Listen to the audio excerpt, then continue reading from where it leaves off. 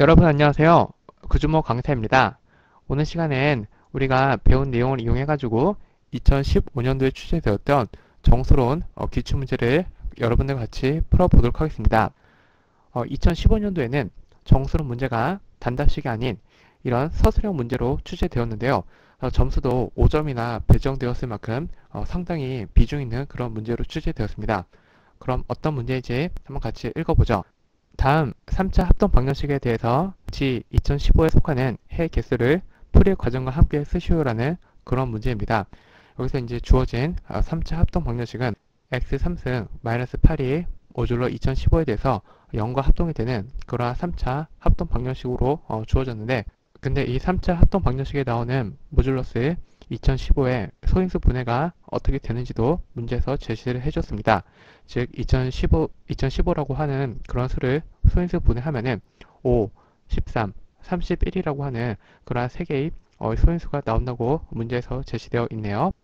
자, 그럼 이러한 정보를 가지고 우리는 문제에 제시된 어, 3차 합동 방정식을 풀어볼 건데요. 근데 이 합동 방정식을 풀기 전에 어, 제가 어, 수업 시간에 설명해 드린 어, 일반수 합동 방정식을 만났을 때 어, 그것을 푸, 는 일반적인 매뉴얼에 대해서 어, 잠깐 어, 복습해 드리고 그 매뉴얼대로 이 문제를 풀어보도록 하겠습니다. 어떤 일변수 함수 fx가 주어지고 그리고 어떤 양의 정수 m에 대해서 fx는 mod m에 대해서 0으로 주어진 이러한 일변수 합동 방정식이 있다고 가정하겠습니다. 그랬을 때 우리는 이 합동 방정식의 해를 구하려고 하는데 이 해를 구하기 위한 어, 첫 번째 스텝으로 먼저 이 합동식에 나오는 modulus m을 소인수하는 것이 우리의 첫 번째 어, 스텝이라고 어, 제가 설명해 드렸습니다. 그렇죠? 그래서 먼저 우리는 modulus를 이렇게 이제 소인수 분해하고요. 그럼 여기 나오는 이러한 각각의 소인수 p i들에 대해서 먼저 우리는 fx가 mod p i들에 대해서 어, 해를 가지는지 그것을 먼저 체크를 해야 될 것입니다. 그렇죠? 왜냐하면 f가 만약에 모두 m 솔루션을 가진다면은 그럼 모든 pi들에 대해서 f는 모두 pi 솔루션들을 가질 테니까요.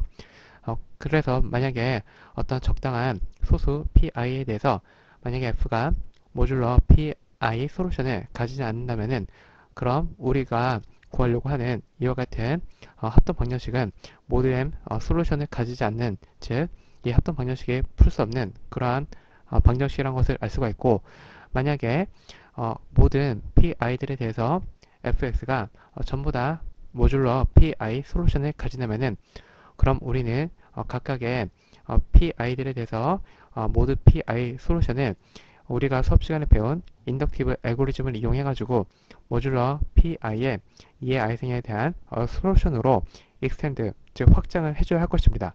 그쵸?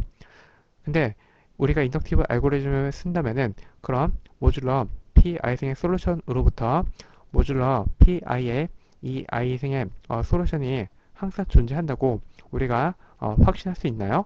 그것은 아니죠.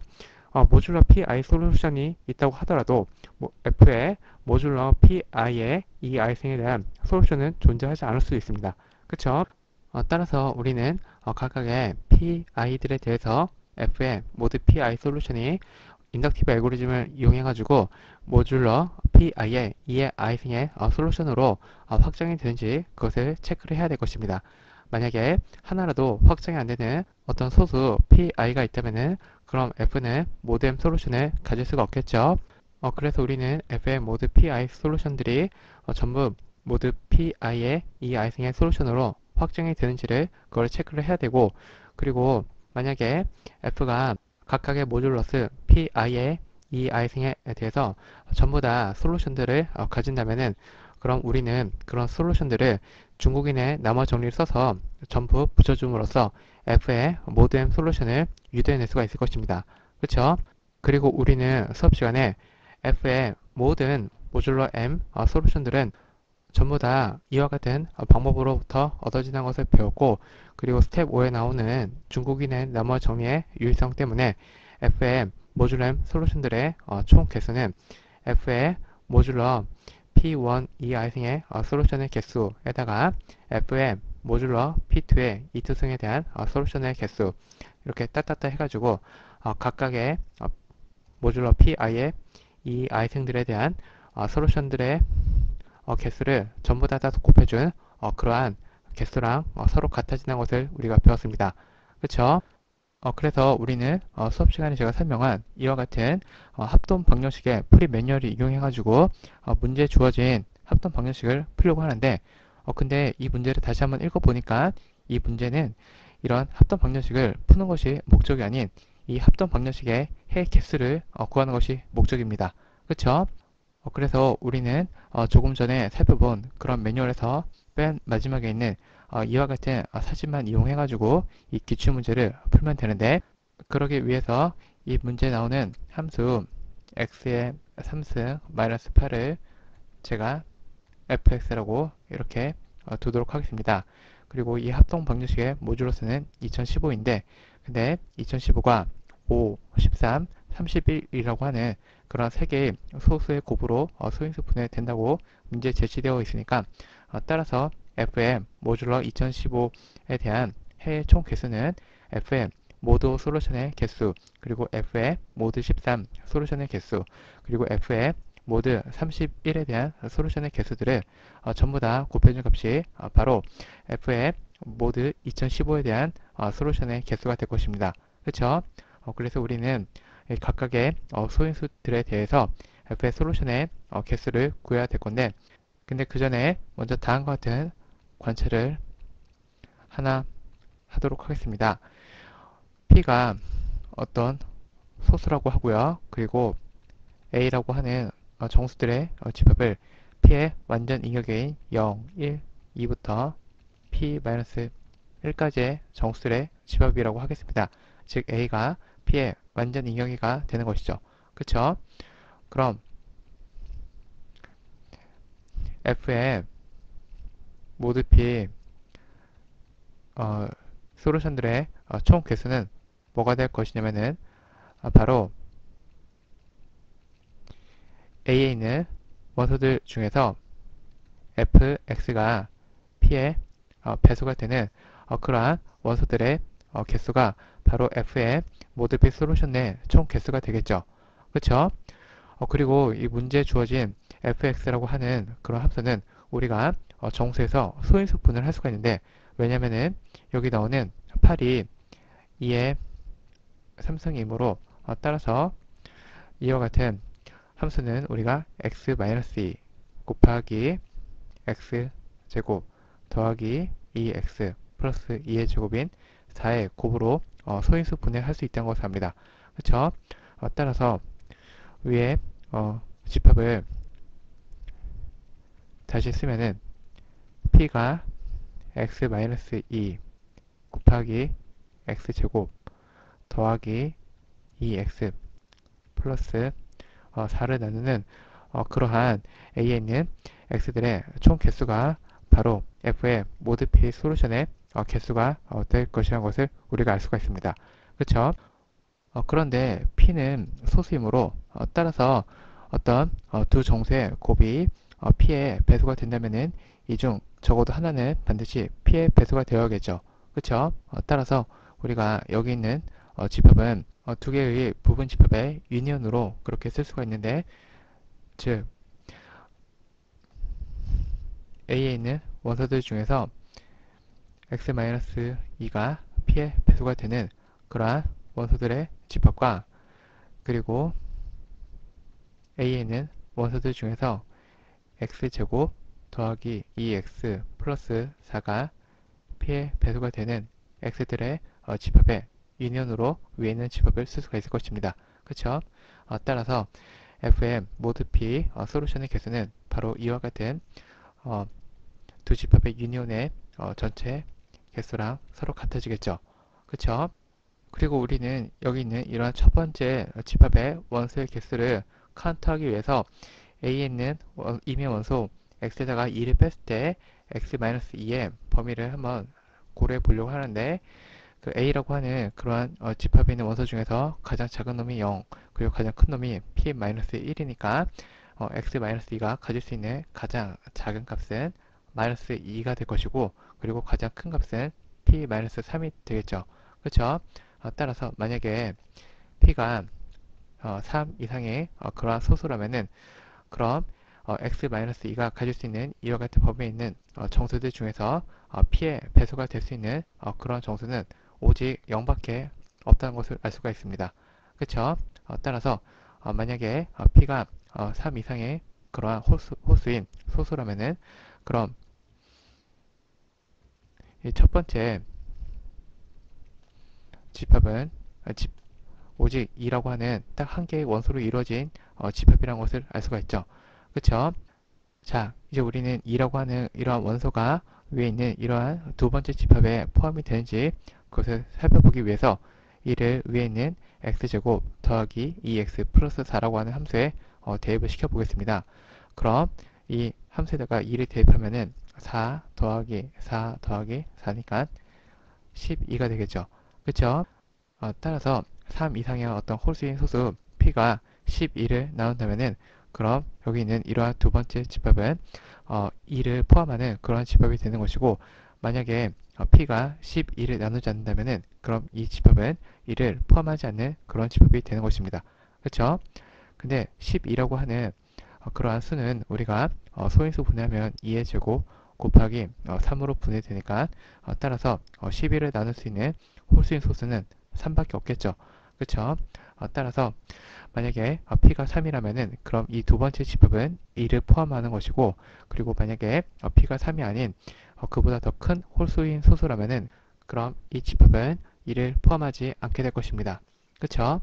어, 그리고 우리는 이 집합의 어, 원소의 개수는 바로 여기 있는 x제곱 더하기 2x 더하기 4라고 하는 어, 이러한 함수의 마드피 솔루션들의 어, 개수랑 서로 같다는 것을 아니까 어, 따라서 우리가 한 얘기를 어, 종합하면은 그럼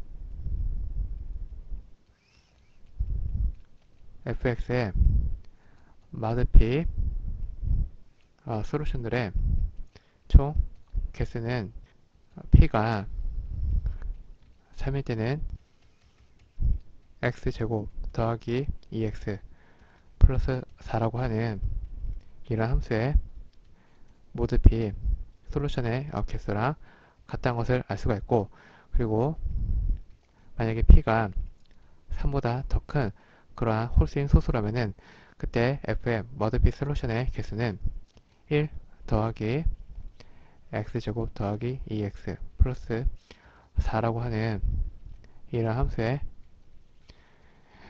모드 p 솔루션의 개수를 더해준 이런 개수와 서로 같다는 것을 알 수가 있습니다. 그렇죠? 어, 그래서 우리는 3차 합동 방정식의 모드피 솔루션의 어, 개수를 구하는 문제를 어, 이와 같은 2차 합동 방정식의 모드피 솔루션의 개수를 구하는 그런 문제로 바꿔왔는데 어, 근데 우리는 모든 2차 합동 방정식의 모드피 솔루션의 개수는 굉장히 쉽게 구할 수 있다는 것을 압니다. 왜 그렇죠? 그렇죠. 바로 르장들 신부가 관련된 2차 상호 법칙이 있기 때문이죠. 그쵸? 어, 따라서 우리는 이와 같은 2차 합동 방정식을 어, 르장들의 심볼을 사용할 수 있는 그러한 2차 방정식의 형태로 바꿔보려고 하는데 즉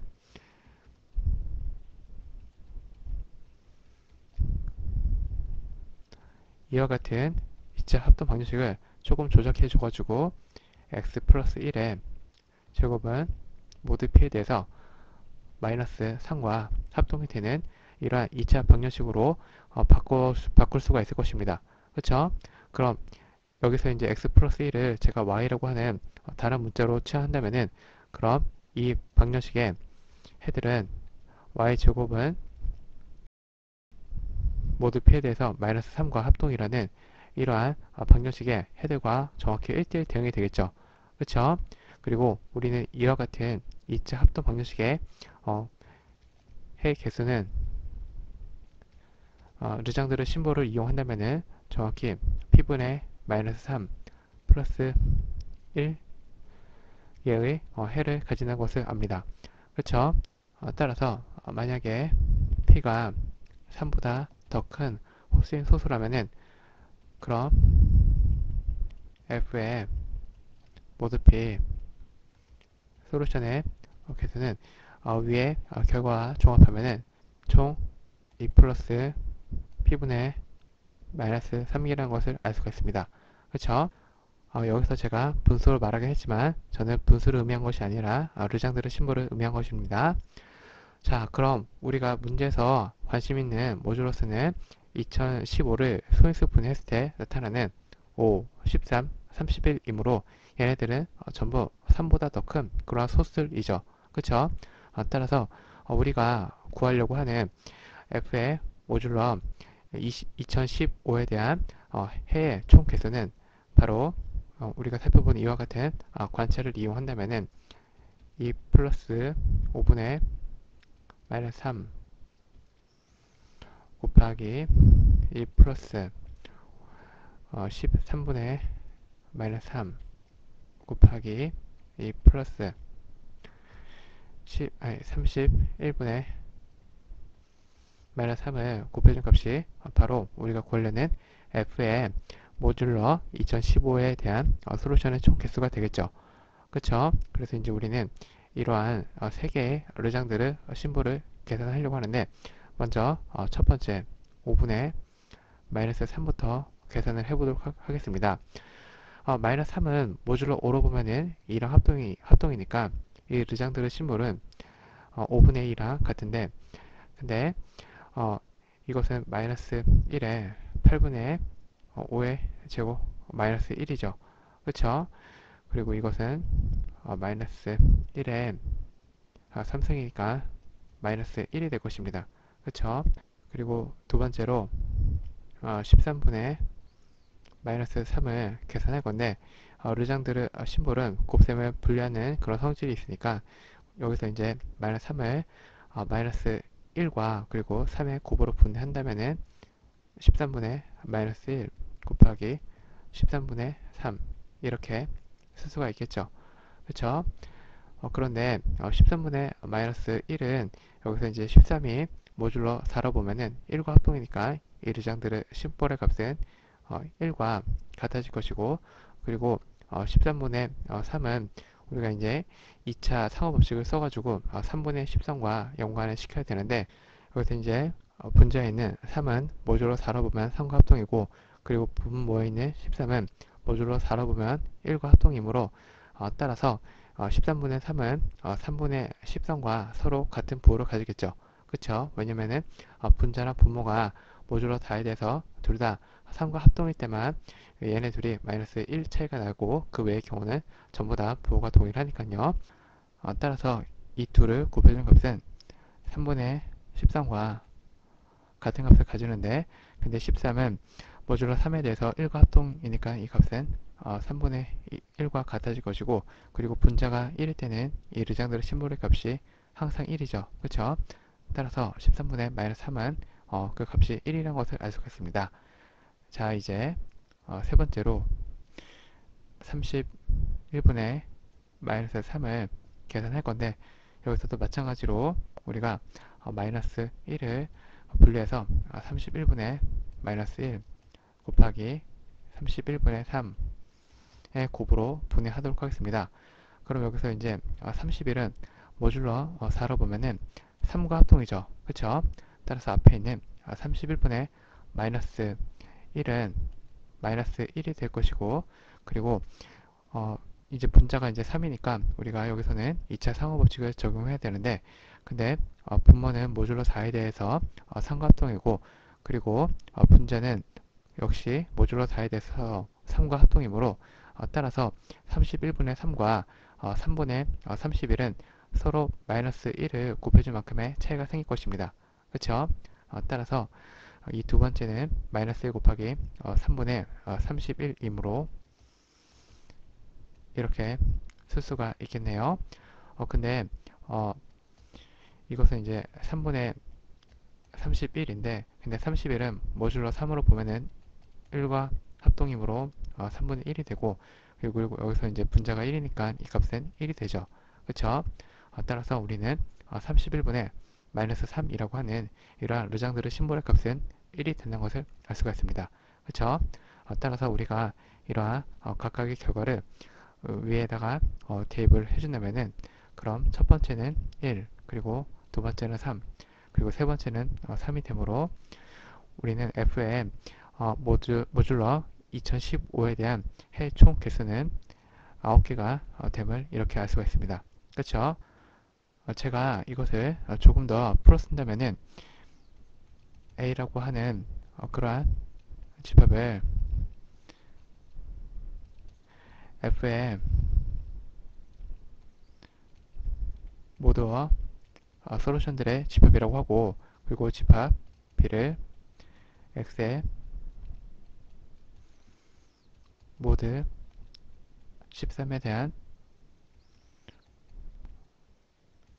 솔루션들의 집합 그리고 집합 C를 X의 모드 어, 31에 대한 솔루션들의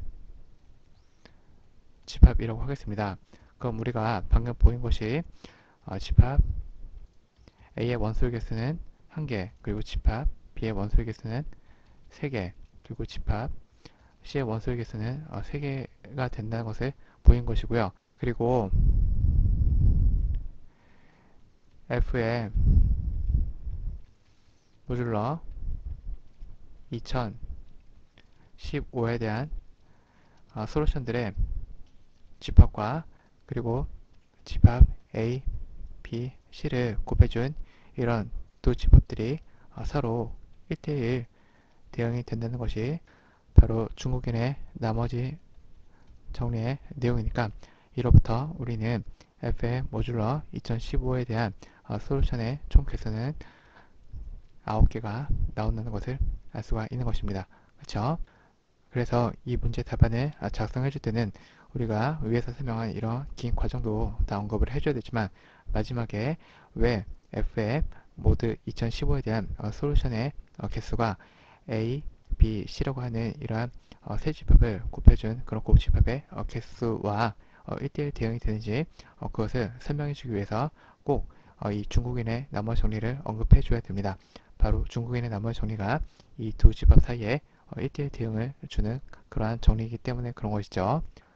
자, 그래서 우리는 이 문제를 제가 앞에서 설명해 드린 내용과 그리고 중국의 나머지 정리를 이용해서 어, 이렇게 풀 수가 있는데 근데 제가 앞에서 설명한 이와 같은 어, 내용을 어, 대석 용어로 사용하지 않고 쓰려 어, 설명하다 보니까 조금 정확하게 설명한 그런 감이 있습니다. 어, 사실 이것을 대석 용어로 쓰면은 굉장히 깔끔하고 간단하게 설명할 수 있는 것이거든요. 그래서 저는 어, 여러분 중에 어, 대석을 공부하신 분도 계시고 그리고 아직 대석을 공부하지 않으셨다, 않으셨다고 하더라도 언젠가는 대석을 공부하셔야 되니까 어, 제가 위에, 위에 서 한 이런 설명을 어, 대석 용어를 이용해서 좀더 어, 세련되게 어, 다시 설명해 드리도록 하겠습니다. 그러기 위해서 아래 여백이 좀 부족하니까 아래 부분을 어, 지우고 제가 아래다가 어, 쓰도록 하겠습니다. 어, 위에서 한 설명을 대수적으로 설명하기 위해서 먼저 우리는 어, 대수에 나오는 다음과 같은 간단한 팩트 하나를 어, 사용할 건데 R이랑 S가 어떤 두 ring이라고 하고요. 그리고 타우가 R에서 S로 가는 ring homomorphism이라고 어, 가정하겠습니다. 그럼 우리는 이 타우라는 map을 이용해 가지고 계수가 R이고 그리고 변수가 x로 주어진 이러한 polynomial ring에서 계수가 s고 그리고 변수가 y로 주어진 이러한 polynomial ring으로 가는 어, 타우 tilde라고 하는 함수를 만들 수가 있는데 즉 어, rx에 있는 어떤 임의의 원소를 어, 제가 ai x의 i승으로 i승들의 sum이라고 했을 때 어, 이러한 원소를 타우 ai 곱하기 y의 i승들의 sum으로 보내주는 이런 함수라고 제가 타우 tilde를 타우 tilde를 정의하도록 하겠습니다. 그럼 어, 타우가 ring homomorphism이라는 사실을 이용하면은 그럼 이렇게 정의한 어, 타우 tilde라고 하는 그런 함수 역시 어, ring homomorphism이 된다는 것을 쉽게 볼 수가 있는데 즉 어, R 테다가 이 RX라고 하는 이런 polynomial ring의 덧셈 구조랑 곱셈 구조를 보존한다는 것을 보이면 되겠죠. 어, 이것을 체크하는 것은 여러분들께 맡기도록 하겠습니다. 자, 그럼 우리가 이제 수업 시간에 Q라고 하는 정수 링에서 이런 쿼션트 링으로 가는 함수를 정의했는데요. 근데 이 맵이 링 홈오피즘이 된다는 것을 우리가 보였습니다. 그쵸? 그래서 우리가 위에서 제가 언급한 이런 어, 대수적인 사실을 이용한다면은 그럼 어, 이 Q라고 하는 그러한 어, 링 호모피즘으로부터 우리는 Q 테다라고 하는 그러한 링 호모피즘을 얻을 수가 있는데 Q 테다는 어, 정수 계수를 가지고 변수가 x인 이러한 어, polynomial ring에서 이번엔 어, 계수가 Zp이고 그리고 변수는 x바를 가지는 이러한 polynomial ring으로 가는 그러한 어, ring homomorphism을 위와 같은 방식으로 건설을 해줄 수가 있을 것입니다. 그렇죠? 그리고 제가 여기 있는 이미 어, 어떤 원소 f를 뽑았을 때 q tilde f를 어, 앞에 q라고 하는 그 map에서의 notation을 이용해 가지고 제가 어, q, f bar라고 이렇게 이제 쓰도록 하겠습니다. 그래야 앞에 notation과 서로 어, 일치가 되겠죠. 그럼 만약에 이 polynomial 아, 정수 계수 polynomial ring에 있는 어떤 임의의 함수가 역시 이 링에 있는 어떤 두 원소 G랑 H가 있어서 어, 이 두 원소의 곱으로 어, 분해가 되었다면은 그럼 어, Q 티다의 F에 대한 이미지인 F반은 어, Q 티다가 링 호모피즘이라는 어, 사실로부터 어, 곱셈을 보존하니까 이것은 이제 Q 틸다 G 곱하기 Q 틸다 H 이렇게 쓸 수가 있겠죠. 그래서 우리는 만약에 어, F가 어, 정수 링에서 이렇게 G랑 H라는 어, 다른 함수로 분해가 된다면은 그럼 F의 이 Qθ의 이미지인 F바 또한 G바랑 H의 바의 곱으로 어, 분해가 된다는 것을 알 수가 있습니다. 어디서요? 바로 GP, X바라고 하는 이러한 폴리노미얼 링에서요. 자, 이제 우리는 이와 같은 어, 대수적인 어, 사실을 이용해 가지고 제가 위에서 설명한 어, 이와 같은 어, 설명을 좀 더 세련된 방식으로 어, 다시 설명할 수가 있는데 어, 우리가 위에서 했던 작업은 어, 바로 어, 이와 같은 합동 방정식의 해집합을 연구하는 것이었습니다.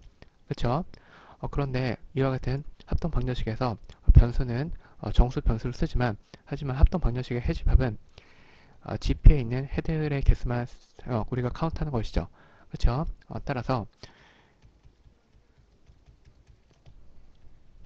이것은 분명히 어, GP 위에서의 합동 방정식이지만 하지만 여기서 이제 변수는 어, G에서 움직이는 것이니까 우리는 좀 헷갈리지 않게 하기 위해서 어, 이것을 어, GP 위에서의 어, 방정식으로 표현하도록 하겠습니다.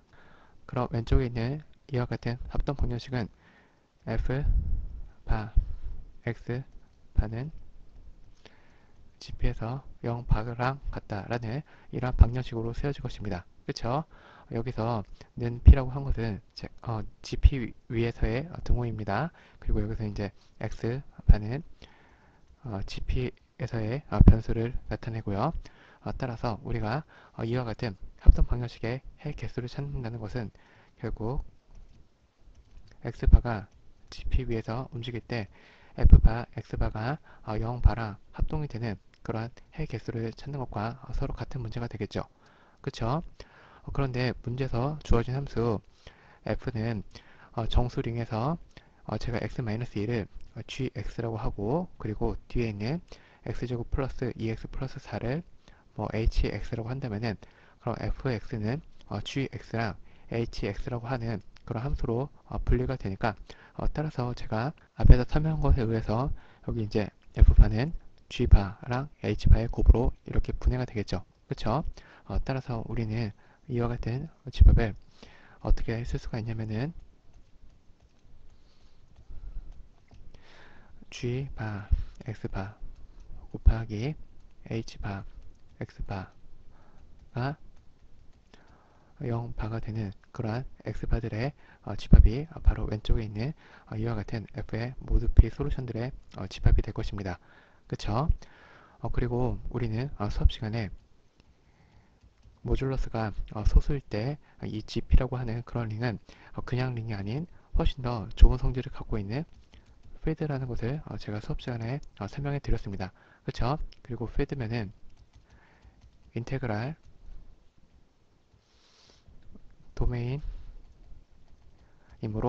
따라서 이 링에 있는 어떤 임의의 두 원소 A, B를 뽑았는데 A, B의 곱이 0이 된다면은 그럼 A는 0이거나 혹은 B는 0이 되는 이러한 성질을 갖고 있죠. 그쵸? 어, 따라서 어, G바 X바랑 그리고 H바 X바를 곱해준 것이 어, 0과 서로 같아졌다면은 그럼 어, G바 X바가 0이거나 혹은 H바 X바가 0이 되어야 할 것입니다. 그쵸? 어, 따라서 우리는 어, 이 집합을 어, 두 집합의 유니온으로 분해를 할 수가 있는데 즉 G바 X바가 0과 같아지는 어, 그러한 X바들의 모임과 그리고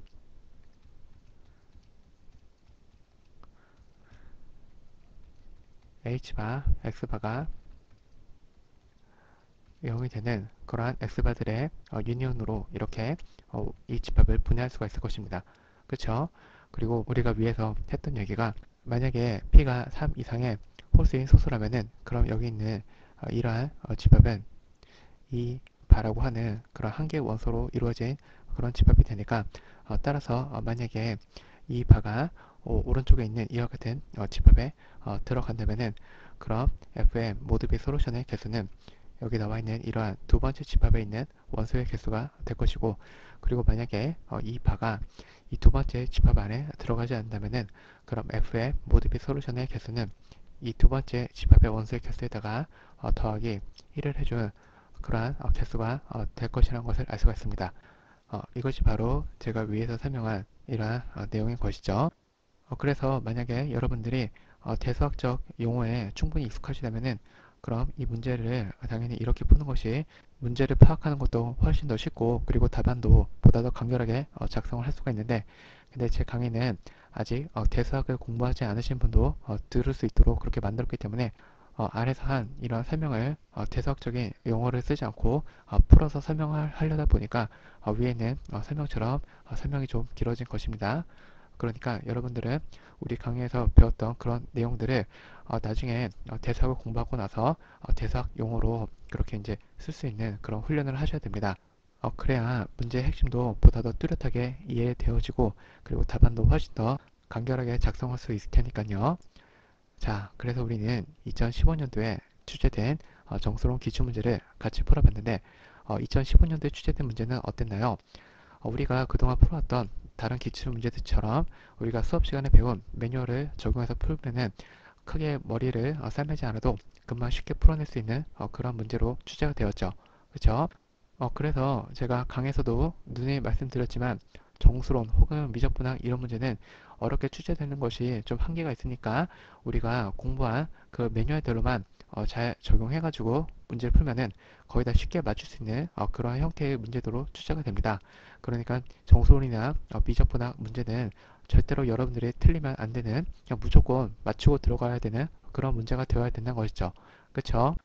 어, 전 개인적으로 임용시험을 출제하시는 교수님들이 문제를 출제할 때는 어, 내가 낸 문제가 여러분들의 두 가지 동, 목을 잘 체크할 수 있는지 어, 그것을 고려하면서 문제를 출제할 것 같은데 먼저 어, 첫 번째가 여러분들이 얼마나 공부를 성실하게 했는가 하는 그 성실함을 체크하는 문제를 낼 것 같고 그리고 어, 두 번째는 얘가 얼마나 공부를 깊이 있게 했는가 하는 공부의 어, 깊이를 측정하는 문제를 내실 거라고 생각합니다. 어, 여기서 이제 성실성이라고 하는 것은 그 공부를 했냐 안 했냐 이제 그것을 물어보고 싶은 것이기 때문에 주로 어, 대학교 1학년, 2학년 때 배우는 누구나 알고 있는 제너럴한 어, 지식인 미적분학 그리고 정수론에 관련된 어, 그런 문제를 출제함으로써 여러분들이 공부를 한 학생인지 안 한 학생인지를 어, 체크할 것 같고 그리고 어, 공부에 깊이를 묻는 어, 그런 문제로는 주로 3학년 혹은 4학년 때 배우는 뭐 대수, 해석, 그리고 위상과 같은 어, 과목과 관련된 문제를 물어봄으로써 이 학생이 얼마나 공부를 깊이 있게 했는가를 판단하는 어, 그런 기준으로 삼으실 것 같습니다. 어, 그래서 어, 이 미적분학 혹은 어, 정수론이라고 하는 이러한 어, 과목은 여러분들이 어, 공부를 깊이 있게 했는가를 어, 측정하기보다는 그냥 공부를 했는지 안 했는지를 체크하고 어, 싶은 수준에서 어, 문제를 취재할 것이기 때문에 어, 우리가 공부한 그러한 기본적인 매뉴얼만 적용하면은 어, 누구나 풀 수 있는 그런 문제로 어, 출제가 될 거라고 제가 생각한 것이고요. 어, 그리고 어, 이 대수나 해석 어, 위상은 어, 공부의 범위가 굉장히 많잖아요. 그쵸? 그러니까 어, 깊이 있게 물어보는 문제로는 어, 이 과목들에 대한 어, 문제를 물어보는 것이 조금 더 적절하겠죠. 그쵸? 어, 그리고 제가 그동안 풀어본 기출 문제들을 보면은 어, 저의 이러한 추측이 거의 어, 들어맞는 것 같긴 합니다. 어, 그래서 어, 제가 생각한 게 만약에 맞다면은 그런 미적분학 정수론이라고 하는 그런 과목은 여러분의 공부를 공부의 깊이를 물어보는 것이 아니라 여러분들이 공부를 했는지 안 했는지를 어, 물어보는 목적 목적으로 어, 출제가 되기 때문에 우리가 어, 수업 시간에 배운 어, 매뉴얼대로 어, 잘 적용한다면은 거의 어, 100%의 확률로 꼭 맞추실 수 있을 거라고 생각합니다. 왜냐면은 우리가 지금까지 살펴본 대로 이러한 문제들은 거의 매뉴얼대로 풀 수 있는 문제들만 출제가 될 것이니까요. 어, 하지만 공부의 깊이를 물어보는 그러한 문제들은 여러분들이 열심히 공부를 하셨어도 어, 반드시 맞춘다는 보장을 할 수 없는데 왜냐면은 어, 교수님들이 이러한 과목들에 대해서는 어, 작정하고 어려운 문제를 내실 가능성도 있고 그리고 여러분들이 평소에는 어, 충분히 생각할 수, 생각해서 풀 수 있는 그런 문제였을 텐데도 어, 시험 당일에 어, 컨디션이 좋지 않아서 막상 시험장에서는 어, 생각이 잘 나지 않을 그런 가능성도 있습니다. 그쵸? 어, 그래서 저는 그런 가능성까지 다 고려해가지고 어, 여러분들이 제 강의를 열심히 들었다는 가정하에 어, 시험장에서 이 공부의 깊이를 측정하는 문제를 맞출 확률은 한 70% 정도가 될 거라고 생각합니다. 어, 솔직히 저는 80으로 적고 싶긴 한데 그냥 제가 겸손하게 말씀드려서 어, 70으로 적은 것입니다. 어, 그래서 저는 어, 임용 시험에 출제되는 문제를 이렇게 어, 두 가지 기준으로 나누어서 분류를 했는데 근데 어, 성실함을 측정하는 어, 문제의 배점이 공부의 깊이를 물어보는 그런 문제보다 어, 배점이 항상 작은 것은 아닙니다. 어, 위에 정수론 문제를 보면은 어, 이 문제는 5점이나 배점이 되었네요. 근데 어, 2015년도에 제가 기출문제를 풀어보니까 그 중에서 가장 어려웠다고 생각된 문제는 바로 위상 과목에서 출제된 두 문제였습니다. 그리고 그 문제들의 어, 배정된 그 배점은 각각 2점씩으로 어, 위상 전체 과목에 배정된 배점은 어, 총 어, 4점밖에 되지 않았는데요. 근데 그러면 어, 위에 있는 이러한 정수론 과목에서 출제된 한 문제보다 배점이 훨씬 낮은 거잖아요. 그쵸? 그래서 이런 거 보면은 어, 성실함을 측정하는 문제가 공부의 깊이를 물어보는 문제보다도 어, 배점이 더 높을 가능성이 있다는 것을 우리가 알 수가 있습니다. 어, 그래서 만약에 어떤 어, 두 학생이 있는데 어떤 학생은 당연히 위상의 어, 비중이 정수론보다 훨씬 더 클 거라 생각하고 그리고 정수론은 임용에서 비중이 매우 작을 거라 생각해가지고 어, 위상을 1년 동안 어, 되게 열심히 공부했는데 근데 어, 어, 소홀하게 공부를 했다고 가정하겠습니다. 그래서 올해 임용 시험에서 위상에 출제된 두 문제는 다 맞춰서 4점은 확보했는데 근데 정수론 문제는 어, 틀렸다고 하겠습니다. 그럼 이 학생이 이 두 과목에서 확보한 어, 점수는 총 4점밖에 되지 않겠죠. 그쵸? 근데 어떤 또 다른 학생이 있어서 그 학생은 적어도 한 달 정도는 어, 정수론에 투자를 해서 정수론은 어, 제대로 공부를 하고 그리고 어, 나머지 12개월은 어, 대수랑 해석, 어, 위상에 골고루 분배해서 이 세 과목을 공부했다고 가정하겠습니다. 근데 이번에 위상이 어렵기 때문에 어, 위상 두 문제는 다 틀리고 그리고 정수로만 맞췄다고 합시다. 그럼 이 학생이 확보한 점수는 5점이 되겠죠. 그렇죠? 그럼 결과적으로 보면은 어떤 학생이 더 잘 공부한 것일까요? 그렇죠. 바로 어, 정수론을 한달 동안 완벽하게 공부하고 그리고 남은 기간에 어, 다른 과목에 골고루 투자한 이 학생이 더 잘 공부한 것이라고 볼 수가 있겠죠.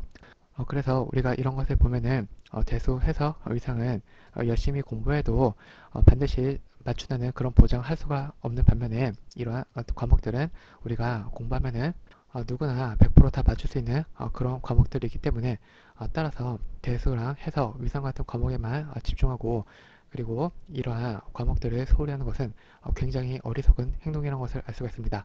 그렇죠? 어, 그래서 우리는 먼저 이러한 과목들을 탄탄하게 공부한 다음에 그 다음에 이러한 주요 과목들을 어, 공부하는 것이 훨씬 더 좋은 공부 계획이라는 것을 알 수가 있고요. 어, 그리고 이 미적분학과 정수론 공부하는데 어, 사실 그렇게 많은 시간이 걸리는 것도 아닙니다. 어, 제 강의를 기준으로 해서 말씀드리자면은 어, 미적분학은 뭐 8강 그리고 정수론은 22강으로 구성되어 있기 때문에 우리가 하루에 한 강씩만 본다고 생각한다면은 그럼 이 두 과목 같은 경우는 우리가 한 달이면은 완벽히 다 끝낼 수 있죠. 그렇죠? 그리고 사실 어, 정수론 같은 경우는 제가 수업 시간에 증명을 많이 해서 그렇지 여러분들이 어, 증명 이런 거 다 생략하고 어, 제가 알려드린 매뉴얼 같은 거 숙지하는 거랑 연습 문제 풀이 그리고 기출 문제 풀이 등만 어, 골라서 본다면은 그럼 정수론도 한 일주일이면은 마스터할 수 있을 거라 생각합니다. 그럼 어, 30일도 아니고 한 15일 정도만 우리가 투자하면은 어, 이 과목에서 매뉴얼대로 출제되는 문제들은 우리가 100%다 맞출 수가 있는 것이죠. 그렇죠? 어, 물론 저는 어, 매뉴얼대로 정수론을 공부하는 것을 그렇게 추천하지는 않습니다. 왜냐면은 어, 제가 매뉴얼대로 어, 출제될 거라고 생각한 것은 어, 제 예상이지 항상 그 예상이 100% 맞는다는 그런 보장은 할 수 없는 것이잖아요. 어, 예컨대 출제위원님들 중에서 만약에 정수론을 전공하시는 교수님이 들어와서 정수론을 좀 어, 깊이 있게 어렵게 출제하려고 마음을 먹으셨다면은 여러분들이 매년만 숙제에서는 그 문제를 절대로 맞추실 수가 없을 것입니다. 아, 그쵸? 어, 그래서 여- 어떤 일이 시험에서 벌어질지는 모르니까 어, 저는 이왕 정수론을 공부하기로 마음 먹으셨다면은 어, 제 강의에서 해드린 그 증명도 다 살펴가면서 어, 제대로 수학을 공부하시길 바랍니다. 어, 그래야 우리가 수업 시간에 배운 매뉴얼도 훨씬 더 기억이 잘 나고 그리고 여러분들이 나중에 선생님이 되어서 학생들한테 어, 정수론에 대해서 설명해 줄 기회가 있을 때 보다 더 자신감을 가지고 얘기해 줄 수 있을 거 아닙니까? 어, 그래서 저는 여러분들이 어, 수학을 공부할 때는 모든 과목을 어, 속성으로 고- 공부하지 않고 어, 제대로 어, 하나하나 꼼꼼히 살피면서 공부하시길 추천해 드리는 바입니다. 그리고 그렇게 공부하면서 쌓아진 어, 수학 실력은 어디 가지 않고 여기 있는 이 70%의 확률을 어, 100%의 확률로 끌어올리는데 분명히 큰 도움을 줄 거라고 확신합니다. 아시겠죠? 어, 어쩌다 보니 좀 얘기가 길어졌는데 어, 여러분들이 이 정수론 과목을 꼭 반드시 맞추길 바라는 마음에서 제가 사족을 좀 달아드렸습니다. 자, 그럼 오늘 시간에 여러분들과 같이 본 2015년도 정수론 기출풀이 강의는 여기서 마무리하도록 하겠습니다. 여러분, 오늘 수고 많으셨습니다.